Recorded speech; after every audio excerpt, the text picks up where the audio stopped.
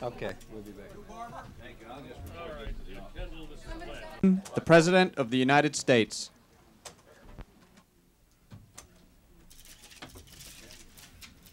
Told you you'd see me later.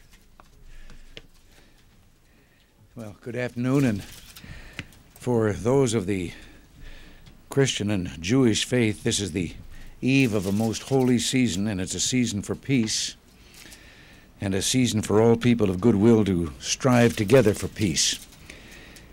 I want to announce today a proposal for peace in Central America that can enable liberty and democracy to prevail in this troubled region and that can protect the security of our own borders, economy, and people. On March 1st in San Jose, Costa Rica, the leaders of the Nicaraguan Democratic Resistance met with a broad coalition of other exiled Nicaraguan Democrats. They agreed upon and signed an historic proposal to restore peace and democracy in their country. The members of the Democratic Resistance offered a ceasefire in return for an agreement by the Nicaraguan regime to begin a dialogue mediated by the Bishops' Conference of the Roman Catholic Church with the goal of restoring democracy through honest elections. To date, the Nicaraguan regime has refused this offer. The Central American countries, including Nicaragua, have agreed that internal reconciliation is indispensable to regional peace. But we know that, unlike President Duarte of El Salvador, who seeks a dialogue with his opponents, the communists in Nicaragua have turned, at least up till now, a cold shoulder to appeals for national reconciliation from the Pope and the Nicaraguan bishops. And we know that without incentives, none of this will change. For these reasons, great numbers of Nicaraguans are demanding change and taking up arms to fight for the stolen promise of freedom and democracy.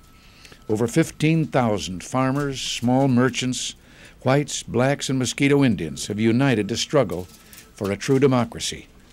We supported democracy in Nicaragua before, and we support Nicaragua today, de- democracy today. We supported national reconciliation before, and we support it today. We believe that democracy deserves as much support in Nicaragua as it has received in El Salvador, and we're proud of the help that we've given to El Salvador.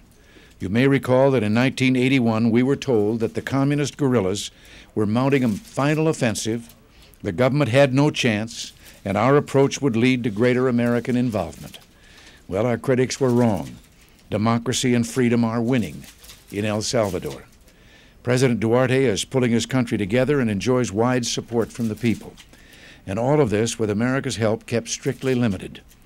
The formula that worked in El Salvador support for democracy, self defense, economic development, and dialogue will work for the entire region. And we couldn't have accomplished this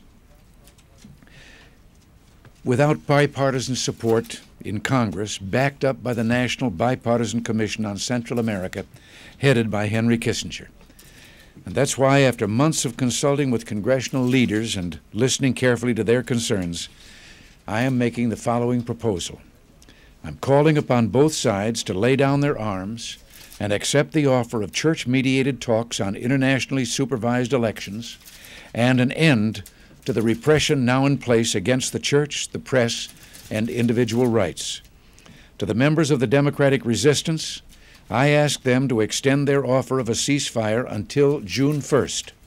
To the Congress, I ask for immediate release of the $14 million already appropriated. While the ceasefire offer is on the table, I pledge these funds will not be used for arms or munitions. These funds will be used for food, clothing, and medicine and other support for survival. The Democratic opposition cannot be a partner in negotiations without these basic necessities.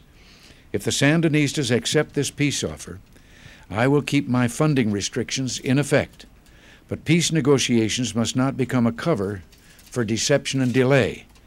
If there is no agreement after 60 days of negotiations, I will lift these restrictions unless both sides ask me not to. I want to emphasize that, consistent with the 21 goals of the Contadoran process, the United States continues to seek one, Nicaragua's implementation of its commitment to democracy made to the Organization of American States. Two, an end to Nicaragua's aggression against its neighbors. Three, a removal of the thousands of Soviet, bloc, Cuban, PLO, Libyan, and other military and security personnel. And four, a return of the Nicaraguan military to a level of parity with their neighbors. Now, later today, I will be meeting with Arturo Cruz, Adolfo Calero, and Alfonso Robelo to discuss my proposal. Democracy is the road to peace. But if we abandon the brave members of the democratic resistance, we will also remove all constraints on the communists. Democracy can succeed in Central America, but Congress must release the funds that can create incentives for dialogue and peace. If we provide too little help, our choice will be a communist Central America with communist subversion spreading southward and northward. We face the risk that a 100 million people from Panama to our open southern border could come under the control of pro Soviet regimes and threaten the United States with violence, economic chaos, and a human tidal wave of refugees. Central America is not condemned to that dark future of endless violence. If the United States meets its obligations to help those now striving for democracy, they can create a bright future in which peace for all Americans will be secure. So, in the spirit of Easter, let us make this so. I look forward to working with the Congress on this important matter in the coming weeks. What's the incentive for the Nicaraguan government, Mr. President? Well, to end the bloodshed that is going on, uh, to end the great economic crisis that is growing ever more worse in their country uh, because of what they've done. Mr. President, Tip O'Neill says that this is a dirty trick, that you're trying to hoodwink the American public into thinking that it is humanitarian aid, but it really is a secret plan to proceed militarily. Well, I don't think he's heard this particular uh, plan yet. There has been cons consultations, but if he's calling this a dirty trick, he's got a funny definition of dirty tricks. What makes you think that this will make Congress more likely to accept your aid? Well, because Congress, in all of their efforts to hinder our continued aid uh, to the Contras and to democracy down there, have emphasized the need for peaceful and political and solution, and uh, a solution of the kind we've talked here that would result from discussion between the, the parties.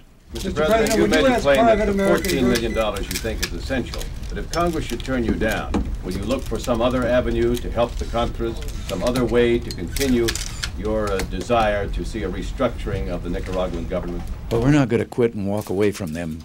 Uh, no matter what happens. Do you contemplate any military action against Nicaragua? You seem to be offering either or, and the threat is the 14 million.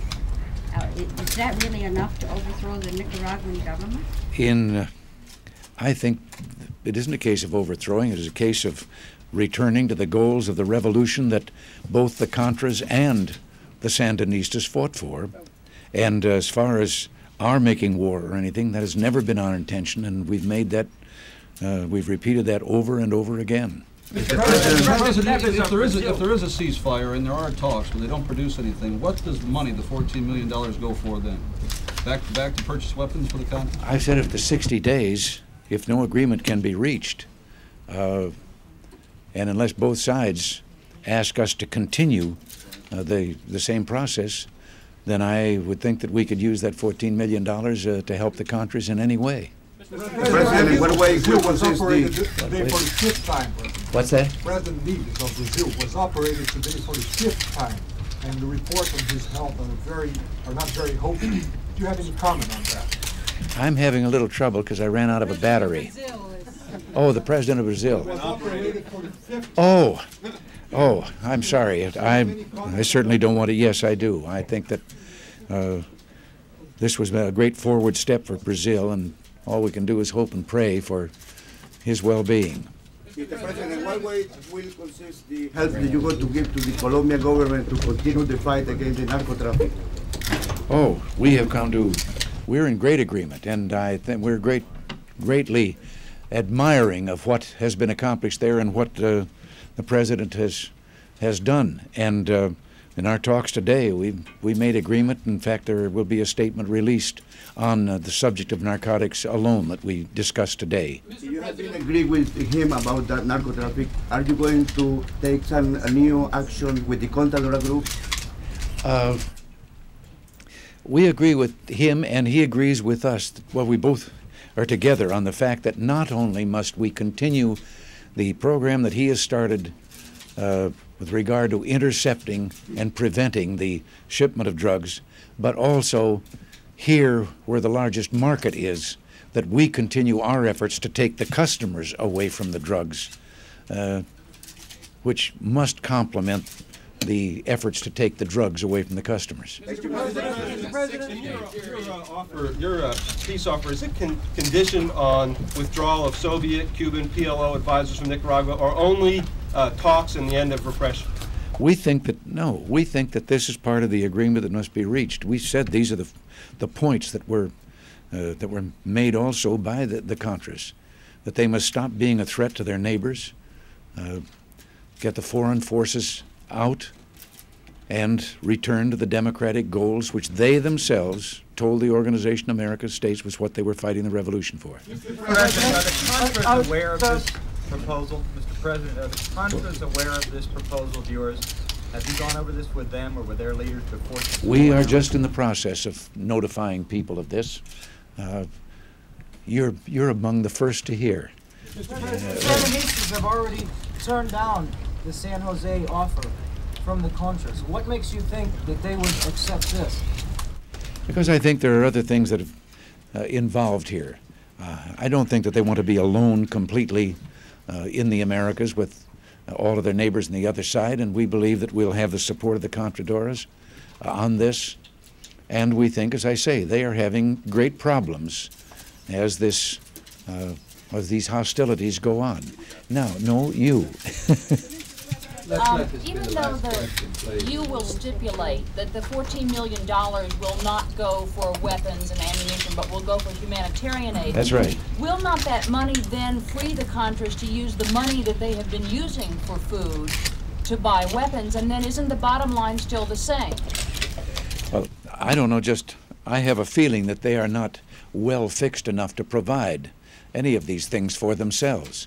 And this, again, is one of the things that we have offered, that this will be used for that purpose uh, for as long as they're negotiating uh, uh, to try and have a peaceful How settlement. somehow managing to survive, I mean, they're, they're getting food and, and that sort of thing. So if you give them money for food, can they not then use the money they're now using for food and buy weapons? Well, let me say, I think that they are close to desperate straits, but I'm going to leave here now because I'm going to be seeing you budget? later in the Got a day. budget agreement? Wait a minute. And it's, it's Bud here, I'm going to, there's, No, not there budget, You got a budget agreement? Budget. Budget. Mr. President, Budget. one more uh, question. If you get this, will you agree to bring home all of our troops from all of the countries in South America, in Central America? Well, the only troops that we have down there now are troops that are on, on various maneuvers and training exercises. That's right, but they are in danger, especially some that have just gone down there No. to Honduras, who went with their flak jackets and ammunition, and they know they're in danger. No, they're, Men and women down there, sir, who are in danger. Will you promise to bring them all home? if you look back through history, you'll find out that we traditionally have used among our neighbors for jungle training uh, exercises of this kind, and they're not, as some loud voices up on the hill have said, they're not down there as a threat to anyone. They're down there as we're training new enlistees in our army to have a well trained military that can fight any place that might be required. And this has been done in Honduras repeatedly before, and that's all it is. So, uh, we're not, we don't have any occupying forces down there. We've got 55 advisors, I think the number still remains, in El Salvador. When they left the other day to go down there, another contingent of them, especially from Texas, they said on the way they knew there was uh, recur- recent events made it much more dangerous and their lives were at stake, and they took their ammunition and their other preparations. Well, that sounds like the kind of scuttlebutt you hear when enlisted men start talking among themselves. Yes. Well, the officers do it. Got a budget agreement? Uh, How about the budget? You've, you've Later given on on, today, we'll, someone will be talking to you you've about given that. on defense, haven't you, sir? What? You've given a little bit on defense. Uh, You'll hear all about the it later this afternoon, but a right little now, bit too, aren't you, Bud, sir? will you get up there and put them back in line? You were a Marine once. You're gonna cut the social security colas a little bit, aren't you, sir? You'll hear everything at four o'clock. Do you think the Sandinistas will cry uncle? Do you need five minutes or you want to go straight to five? Look, five minutes. How about nephew? Larry, where's the station?